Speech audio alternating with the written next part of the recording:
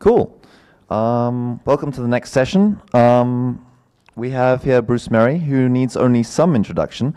Um, from a PhD at UCT, um, some time working for ARM, um, postdoctorate. Uh, he's now on the Square Kilometer Array Science Data Processing team. Um, and in his spare time, he thinks that static typing is uh, in C++ is, is a good thing.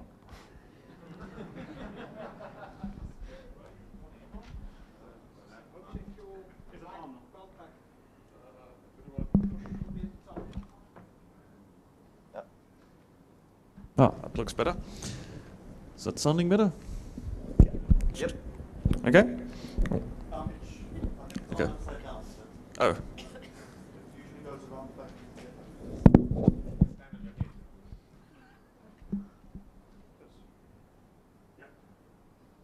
Okay.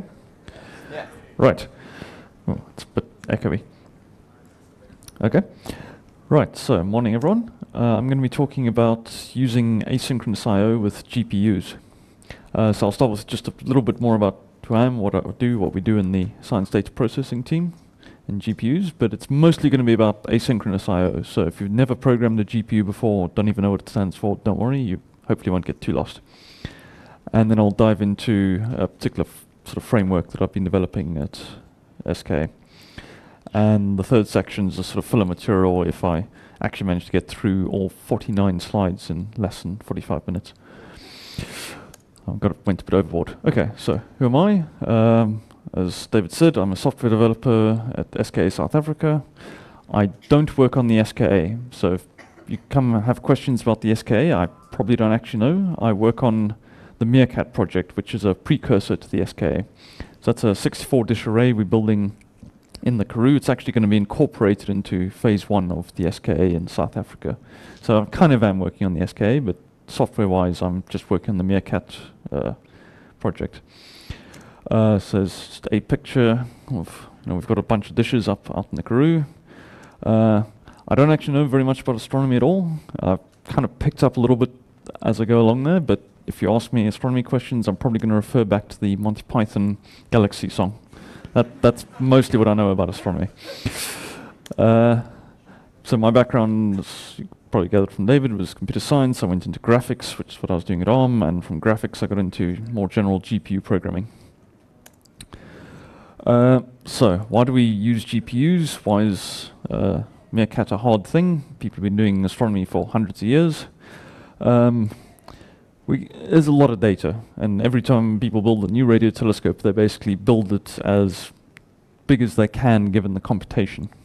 That's really actually what's limiting radio astronomy. So we get uh, from the actual dishes, we have digitizers, so you get uh, digital samples of the waveforms hitting the dishes. That comes to about 2.2 terabits a second. Yeah, and this is for a 64 dish array. So you can imagine what it's going to be like when we've got 3,000 of these things for the full SKA. Uh, that's actually so high data rate, we don't touch it in the science data processing team. Uh, we have uh, a separate team who program FPGAs to deal with this in kind of hard real time. My colleague Paul over there is one of them. So if you have questions about that, you can ask him. Uh, by the time we have to deal with the data in our science data processing team, it's been reduced a lot by the FPGAs. It's a mere 57 gigabits or so.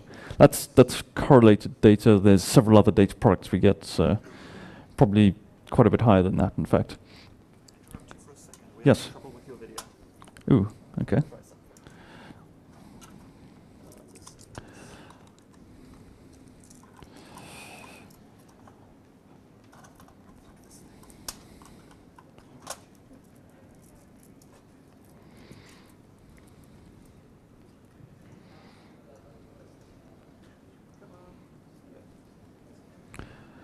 Okay, now it's gone back to the screen. Um, display settings, I can push it back to that one. Okay, is that good? Ooh. Ah, it's still broken. Okay, let's get back to how that was. I'm gonna get us there.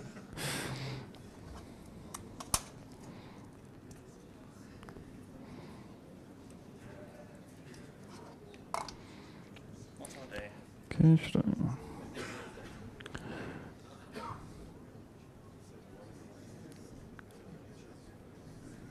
No, nothing's working.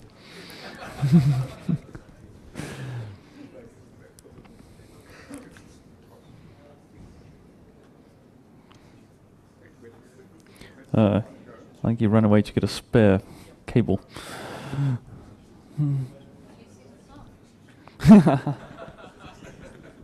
Uh, the Galaxy song? Yeah, I'm a little rusty. Oh. Uh, and apparently, talking to real astronomers, the numbers in there are all actually not very accurate. Uh, possibly they were in 1970 or whenever that was filmed, but uh, you shouldn't actually use that to get your detailed astronomical information if you're writing code based on it.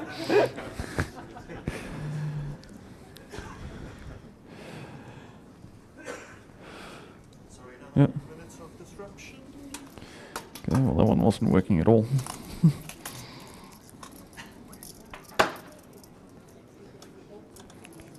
oh dear, he's got a screwdriver out. We're in trouble. Yeah, never a good sign. Um,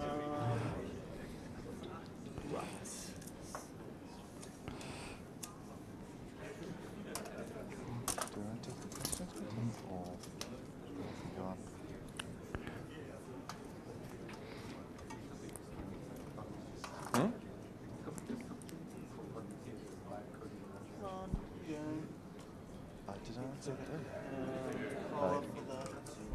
Um, just a quick reminder, uh, I have yet to have anyone come to me and say, yes, I want to solve the problem of randomly selecting a name from a hat in a live, live coding problem.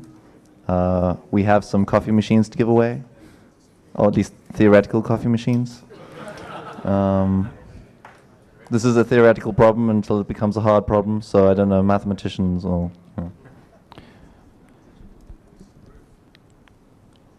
Yeah. You can. Bruce, are you going to do a live coding, uh, pulling a name out of a hat for us? Uh, well, problem with live coding is you should ideally be able to see it on the screen, right? I'm very disappointed.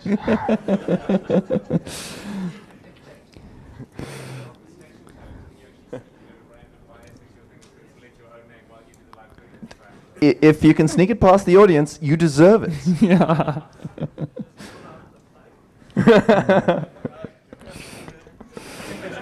right. Should I switch back to the output? Uh, have you tried if, turning it off we can, if we can do the the uh, Python obfuscation, pro, uh, you know, like name out of hat thing, then then I think you deserve it. You know, like. uh, oh really? we'll we'll we'll be doing it later. Well, shall I put it up? Uh, I'm pushing the button. Nothing's happening. Yeah, we did actually have a volunteer. Okay, cool, cool. I'm just going to unplug it and plug it in again. It's, it's doing something funny on my side. Okay,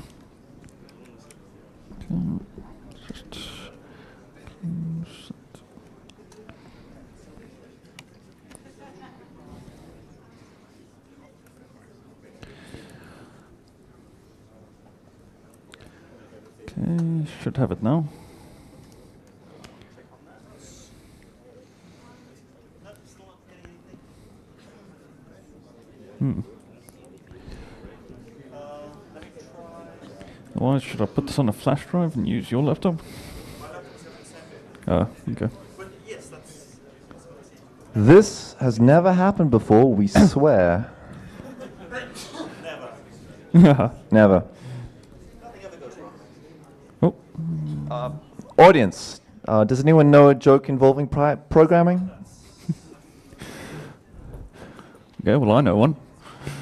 So, a C string walks into a bar and says, Hi, I'd like a beer, please. And another C string walks into the bar, also uh, with him, and says, Yes, I'd like a beer too, please. and the first string says, You'll have to excuse my friend, he isn't null terminated. We are good to go. Okay, we're back. Right, so as I was saying, we have a lot of data which we need to process. Um, but it's very structured data. We get bigger arrays of data, so there's not much of this sort of uh, processing that needs to be done on each item of data. So it fits fairly well with NumPy and that sort of thing. So Python actually works reasonably nicely for this. Uh, why do we use GPUs? Well, we're not actually doing graphics with them, but they're these days they're high performance parallel processors, and they're used all over the place for just general purpose processing. Okay, so a little bit more about GPUs. I'm going to give you the short, short version. This is not going to be a course about how to program GPUs. So GPU is a separate processor that sits next to your CPU. So all this this big block here. Is there a laser pointer? Does this thing? Switch on the side. Sorry, switch on side. On. Yeah. So everything there is the GPU. Uh, it has its own piece of memory there. It's got a PCIe bus normally that connects the two, and it's got a DMA and direct memory access engine. So the GPU can actually suck data out of your host memory that's on your CPU or push data back to it. And way you program it is you create these things called kernels, which is just a piece of code. It's a single program multiple data model. And you push this code over to the GPU and you say, please run this bit of code on you know, this big chunk of memory I've got. And the key point is that you can do all of this sort of stuff asynchronously. So you can say, go and uh, process this thing on the GPU, and then your CPU can run along and do some other stuff while that's happening. And in fact, you can also have these DMA transfers happening at the same time as your GPU is doing some work. So while the GPU is processing one bit of data, you can start sending it the next bit of data to work on. But, but that means you need to do a bunch of asynchronous programming, which is why I'm talking about async I.O. Okay, uh, I think I skipped a frame. Right, so asynchronous I.O., what is it? Why do we care? Um, so the alternative to asynchronous I.O. for doing concurrency is use threads, and threads have been around forever, and probably most people have seen them, but they're not all, they don't solve all your problems. They create a whole bunch more problems than the ones you solve. Uh, first big problem for people doing networking more is if you have a service where you want 100,000 people connecting to your box, and you're trying to do one thread for every connection, that falls over badly. Um, uh, this is even in languages like C++ where you don't have a global interpreter lock and you can actually scale up your threads to run across multiple cores. Uh, we don't have 100,000 connections in our system for networking. We've got maybe sort of four or five connections going on in SDP because you know we don't have a whole lot of people on the internet trying to connect to us. Our connections are just our internal systems talking to each other. And uh, the real problem with threads is anything can happen at any time in terms of thread switching. So you have to have locks and condition variables and all these complicated things to reason about uh, what's happening to my state. You know, different things can be trying to get to my state at the same time because it's preemptive. And the other thing you tend to find with threads is if you're threading idea of, okay, I'm going to dedicate this thread to listening to this network connection, and that's all it does, it just sits blocking in a read from this socket, then it actually becomes very difficult to react to external events, and the most common one is actually being asked to stop. That's often the hardest part in threaded code is, uh, how do I shut this thing down? Because it's sitting blocked waiting for the network connection. It's not going to do anything until some data arrives from the network, and suddenly you've got to stop it somehow. So that's why th threads can be a bit nasty. Um, the code I inherited for some of our processing of this, you know, 57 gigabits or whatever, uh, used some threads and it had race conditions and then I added locks and it was still a bit tricky to reason about. The new code is much cleaner. So what is asynchronous I.O.? It's kind of threading but without threading and the key point is it's non-preemptive. So when you decide that you're ready to sort of give up control of the CPU and wait until something happens, you then yield control and it goes back to a scheduler which is normally inside your process. It's sort of a Python library rather than the kernel doing the scheduling. And that's also what makes it very lightweight is you don't have to do a, a switch into the kernel, which normally costs a lot of time. It's just happening inside your process. Um, how this works internally is, uh, depending on your operating system, you'll have different system calls that allow you to say, wake me up when something happens on one of these many uh, network sockets or file handles or when this amount of time passes. Uh, but that's all handled inside these libraries for you. And yeah, so as I mentioned, you uh, only switch context when you do some sort of blocking operation, like I want to wait for the GPU to be finished with something, or I want to sleep for this many seconds, or I want to wait until there's some data on the socket. So there's different styles of doing asynchronous I/O or event-driven programming. It's also called. So the kind of older style is you have callbacks. Uh, I've never actually used Twisted. I just grabbed something from the documentation. There was.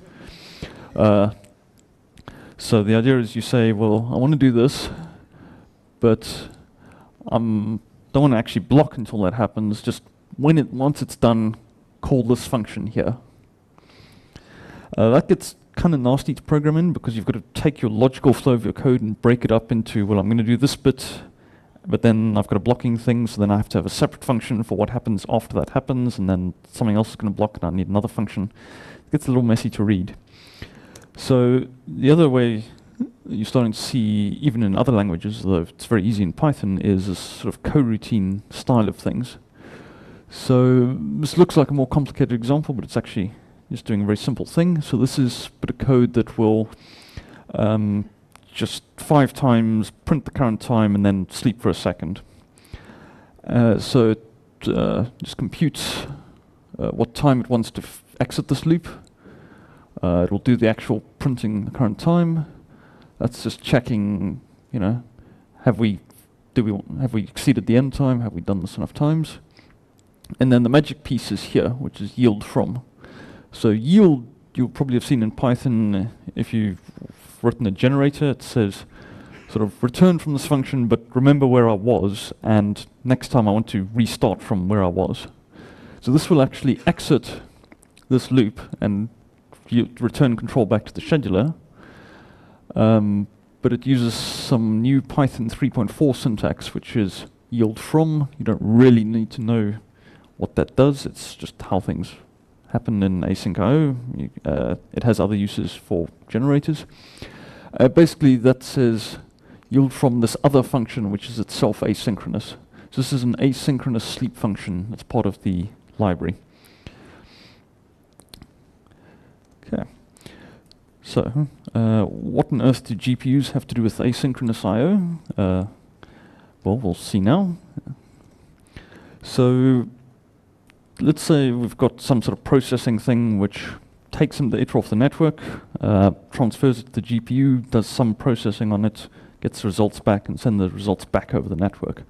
And this, this we've got several sort of bits of code in our uh, science data processing pipeline that look like this.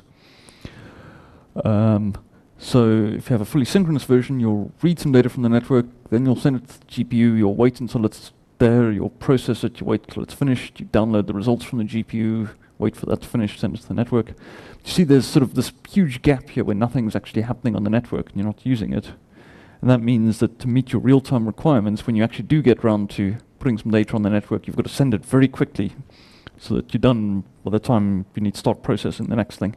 Uh, the different colors here, I'm just showing sort of two frames of data. So from this correlator, we'll say every half a second we'll get a big dump of data that we have to process and then send out. And then half a second later, we get another dump. And you kind of have to keep up with that, otherwise you're in trouble. Um, and similarly, the GPU has got all these sort of little bits of dead time there, where particularly when you're doing all the network stuff, the GPU is not doing anything, which means you're not fully utilizing your resources. So we'll see later a diagram of what we'd really like that to look like, where everything sort of is kept busy all the time. But we're going to use a simplified version of this as just for demo code. Uh, this is actually corresponds more or less to a simulator that I've written for simulating this process, where uh, you start with some buffer of memory on your uh, CPU, which is also called the host, which is why it's got an H uh, prefix on there, just to keep things straight. And the first step is you fill it with some random data. Uh, it's sort of good random data and that it has the right statistical properties, but it's basically random data. Then you copy it to the GPU, and it's got a D there, which stands for device, which is, again, terminology. The GPU tends to be called the device. Um, in this case, we're just going to multiply it by 3, which is not terribly exciting, but simple, uh, into an output buffer on the device, and then we're going to copy it back to the host, and then we'll maybe print out something about that. So this is a synchronous version of this code. Um, I've left out some of the details, uh, you know, the init, the constructor for this processor class I've left out, but it's got a main loop where, while true, it sort of does one frame of this thing, and then it sleeps for half a second. Um, so here we're setting the random data in the host buffer. We're taking the device buffer, setting the value based on the host. Um, the kernel is the thing that actually does the work on the GPU. So this tells the GPU, please go and process from the input buffer to the output buffer. Um, this is how many items it has in it. That's just some internal tuning for uh, how it should break up the work because it's a parallel processor. And the C queue here is a command queue, which is you submit things into a queue of work, which is then processed in order. And you can have multiple command queues to have different uh, tasks happening in parallel on the GPU. Then we read some data back out again, and uh, we print out. So I think this is printing out the variance or something, so we can check that you know it's got the right statistical properties. Um, so where we like to take this next is just handling the GPU asynchronously, which isn't actually going to get into asyncio at all. It just means that you tell the GPU, upload this, process and send me the results back without actually waiting for each step individually to complete. And then once you've told it what you want it to do, you then say, okay, tell me when you're done. And that just has the advantage that for each step, you don't have to um, come back through and interrupt the CPU into the kernel, into user space, into uh, through the C library into Python, into asyncio up into your code, and then all the way back down again to start the next thing going. That can actually slow things down drastically. So I've highlighted and read the bits that change. So uh, these sort of data transfer functions, you can tell it you want to do asynchronously, which means it'll start this copy, but the function will return immediately, and only later will it actually finish copying the data. And you have to be careful that you don't touch the data while it's being copied, otherwise bad things happen. Um, the kernel itself is actually always asynchronous. So the reason we didn't, reason it looked synchronous last time was actually when you ask for the results back, that goes into the same queue, and it has to happen in order, so that synchronized it. And then you can tell the command queue to finish all the work that it's previously had. Okay. Um, so now we're going to start adding asyncio. So this is where uh, the, the, actual Python library starts becoming asynchronous. So there's a couple of things. There's this decorator you put on that says this thing is now a coroutine, which means it's going to yield control at some point, and I want to restart where I left off. And I've also got this thing called run-in executor. Um, don't know how many people have used the concurrent futures package but it has these things called executors, which uh, is uses a thread or multi-processing to run something sort of asynchronously from you and give you the result back. Now I said we didn't actually want to use threads, so and yet this is actually going to run that finish command on a separate thread and then wake us up again when we're done. Now why would I do that? That's because uh, that's a blocking operation. Uh, the OpenCL, which is language used for uh, program in the GPU is wrapped by a OpenCL library, and it provides that function, but it only provides a blocking version. It doesn't provide an asynchronous version. So this run-in executor is a way you can sort of tie blocking operations into your asynchronous code, sort of an escape hatch for if people didn't actually do things properly. Ideally, you should only use this if that blocking work uh, drops the global interpreter lock, because otherwise you're not actually going to be able to service any other network requests or anything else while that blocking operation happens. Unfortunately, PyOpenCL does drop the global interpreter lock while it does that. Uh, then the main loop has also got some slight changes. So uh, one of the things with the yield from is you can use it to call an asynchronous function and sort of everything propagates up and down the stacks nicely. and then we've just had to switch the async.sleep instead of time.sleep. So now, with this version, what you get is that if you also had, say, Tornado running a network service that uh, remote clients are connecting to, and if it's integrated with this, which I'll possibly show how to do later, then the network service will remain um, interactive or responsive while all this is going on, even though there's some blocking operations happening here. It won't block the network handling.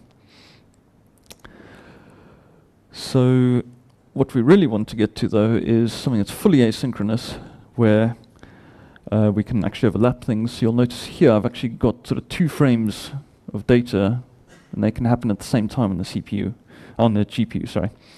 And the idea there is that that can happen because transfers are done with a separate bit of hardware on the GPU from the processing, so it can actually be processing one frame while it's transferring the previous one or the next one. And it doesn't actually get shown here, but um, yeah, and also you can see you sending data on the network at the same time as you're processing stuff. So you can potentially make full use of all your resources in this case. So here's some code that doesn't work. Don't do this. Uh, so what we've changed is we've now created a separate command queue um, for each time we do a process. So each frame of data, we give it its own command queue. And so as I said, each command queue is a in-order queue of work that you send in the GPU. But then the next frame of data will be sending a separate in-order of queue of work. So those two queues can overlap. So why doesn't, oh, and the important part is this async.async thing. That's kind of the async equivalent of um, forking off a thread. So it says, here's some task, I want you to just go and do it in the background and keep executing normally, and then you can have multiple of these coroutines happening in parallel. Um, the problem is memory. So this might be what you start seeing, sort of each different pattern there might correspond to access to a different piece of memory.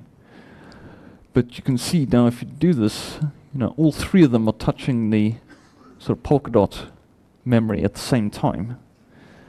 Uh, so what you can do is just have allocate memory separately for each of these things as you get to them, but you can start quickly using up the memory on your GPU. And so I've avoided this. Also, memory allocation can be quite expensive on a GPU, so ideally you want to allocate the memory you need up front and then just keep reusing it. Uh, so what you actually want to do is serialize this so that uh, the things that use the same memory are serialized, but you still get some parallelism. And any and that actually applies to any kind of resource, not just memory. It might be um, you might want to serialize access to the network cards so that you don't start mixing together packets from two different frames, that kind of thing. Okay, so how are we going to fix this? Well, serializing access to a resource, that's locking, right? So async does have a lock class, but it doesn't quite solve all the problems we have, so I've done something a little different. So one of the problems you can have is things can actually end up out of order where actually it starts processing the third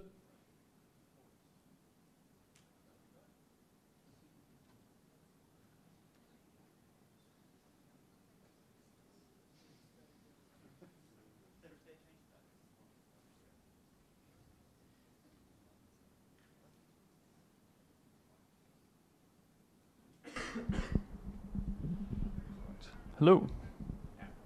Okay. So you can see here it started processing the third frame before it's actually uh, worked on the second frame, and you can get weird effects there. Where oh, do you want to? Are you good with that? I'll use this for now.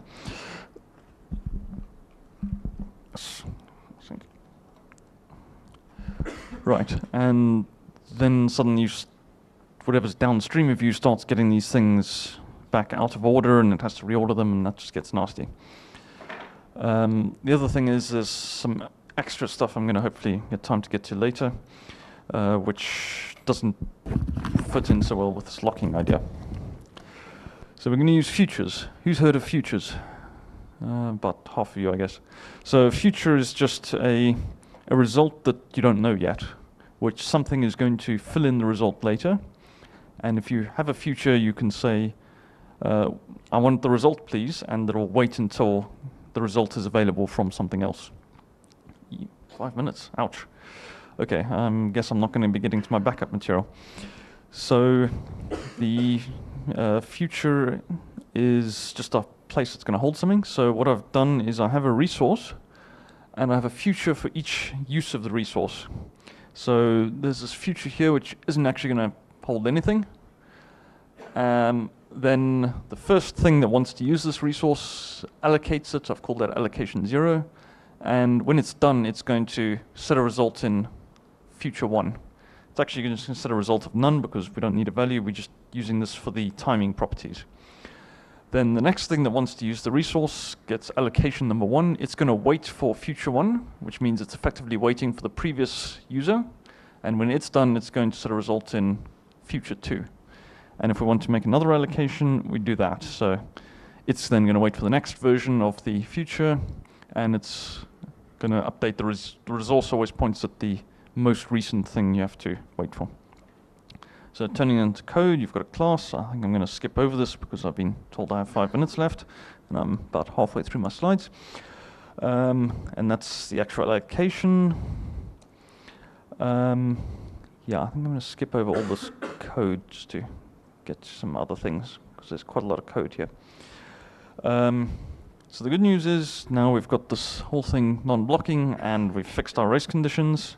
And that means you can integrate it with some sort of network service which will remain responsive and you still only do almost everything on one thread. Uh, you can overlap your work now. You've got safe access. There's still some things we'd like to improve. So it's still doing a lot of synchronization via the CPU.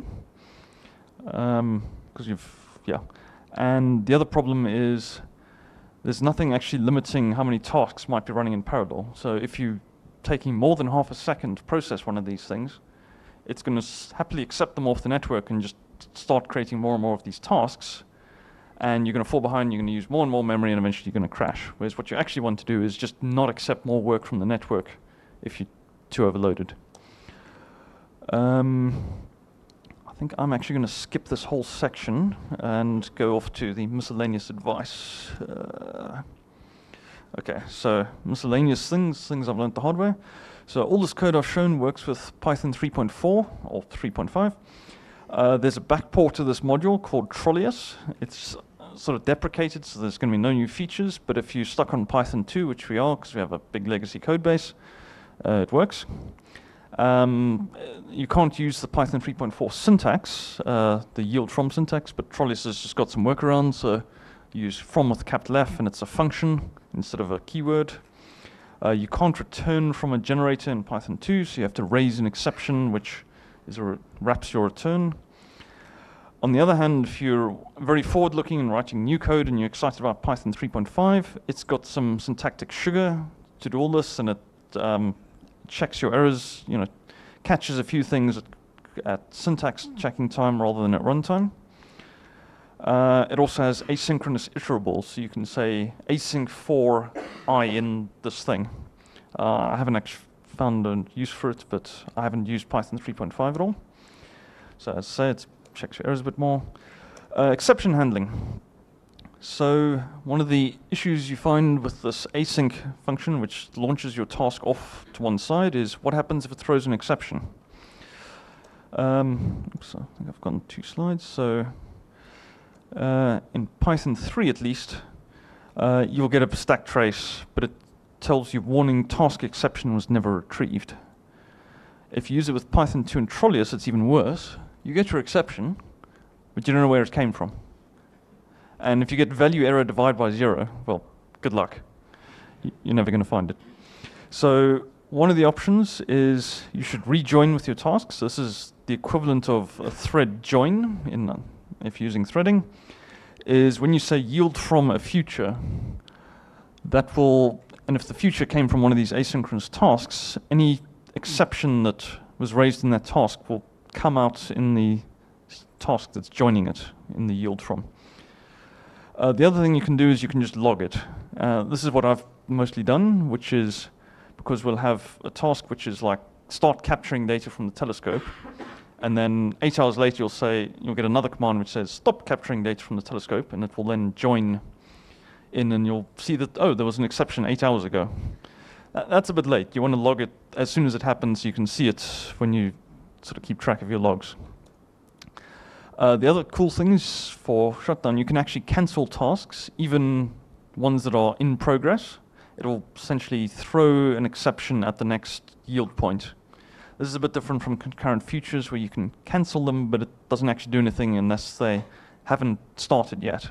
If they're still sitting in the queue, you can cancel them, but if they're running, there's nothing you can do, they're just going to keep running. How am I doing on time, David?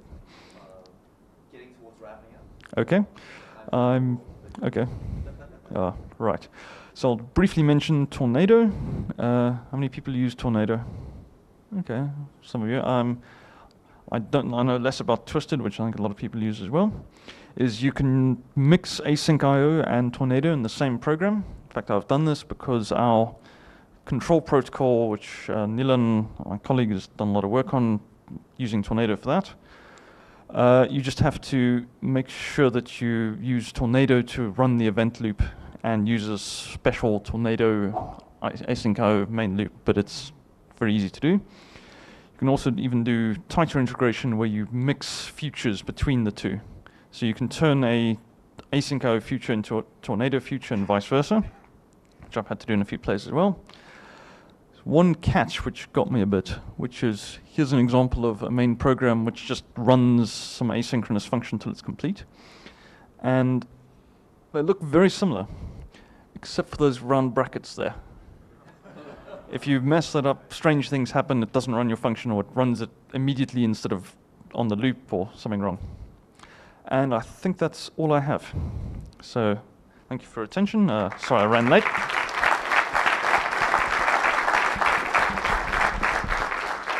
Thank you very much. Um, that was very interesting, and we do actually have some time for questions. If you want to ask some questions, technically it's coffee now, but things are a little bit behind schedule. Um, we are 15, officially 15 minutes late. Um, the, the schedule on the website is correct. Um, do we have any questions from the floor? Give that man a bells, um, a, a microphone.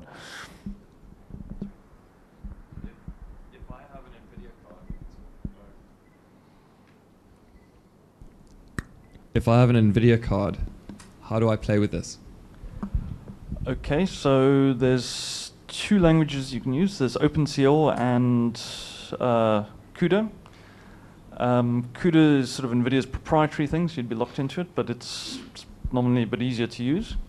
And there are Python wrappers, PyCUDA and PyOpenCL, um, which you can, I assume, find documentation about on the web. Uh, there's also NumbaPro, which I think is commercial, has support for sort of magically doing stuff on the GPU where you write Python code and put a decorate on and it sort of examines your Python syntax and creates GPU code out of it. I've never actually tried using that, so I don't know any details.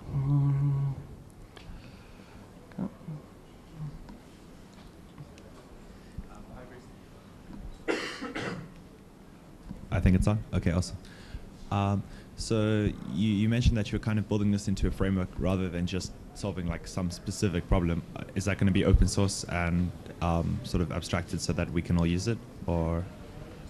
Uh, right, so open sourcing. So it's a bit tricky because we work for uh, government departments. On the one hand, yes, the goal is to open source everything. On the other hand, being the government means we deal with bureaucracy.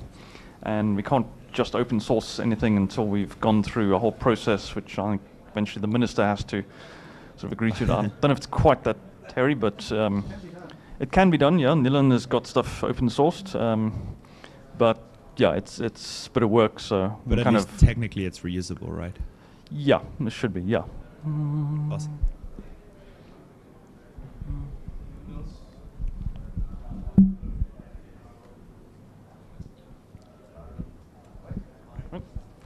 Thank you. Thank you very much.